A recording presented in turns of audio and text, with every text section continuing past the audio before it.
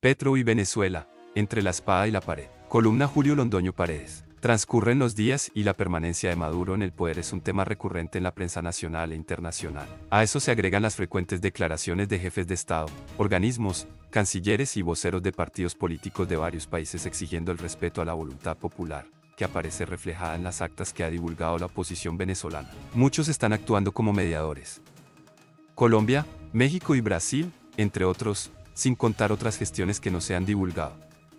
Sin embargo, el grupo no parece muy homogéneo. El presidente de México ha anunciado que no seguirá en la mediación, hasta no conocer la decisión del Tribunal Supremo de Justicia de Venezuela. No se sabe si es para respaldar lo que dice el tribunal, que es totalmente madurista, o, por el contrario, para advertir que definitivamente no reconoce el supuesto triunfo de Maduro. Igualmente, el presidente del Brasil ha insinuado que se podrían repetir las elecciones, lo que mereció en su momento el rechazo de plano por Corina Machado.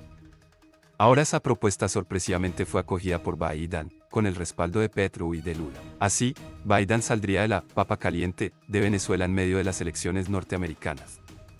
A menos que sea un gap mental del mandatario, lo que no solamente justificaría, una vez más, su renuncia a la candidatura, sino también lo dicho por Trump, que no debe gobernar hasta enero del año entrante. Se supone que, si el presidente de los Estados Unidos lo dijo, apoyado por Brasil y Colombia, los tres o uno de ellos deben haber consultado con Corina Machado.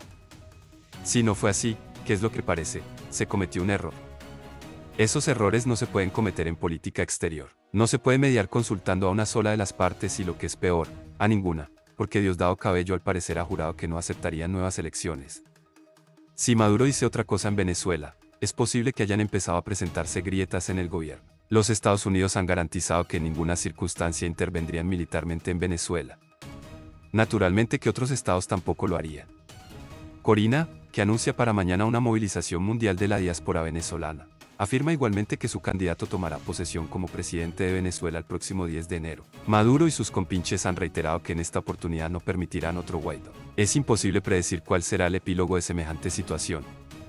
Sin embargo, las Fuerzas Armadas han reiterado su respaldo a Maduro, que depende íntegramente de ellas. Un bloqueo económico no se podría dar, ya que Venezuela es productor de hierro y de petróleo. Además no es una isla.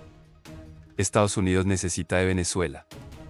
Extensas selvas la separan de Brasil y todo el mar Caribe México, la relación con Colombia con una frontera viva y dinámica de 2.219 kilómetros tiene unas condiciones muy especiales. Petro afronta una compleja situación frente a su amigo y colega, que no dudaría en irse contra él si es necesario como ya lo demostraron en una ocasión los lugartenientes del dictador venezolano. Veremos qué pasa.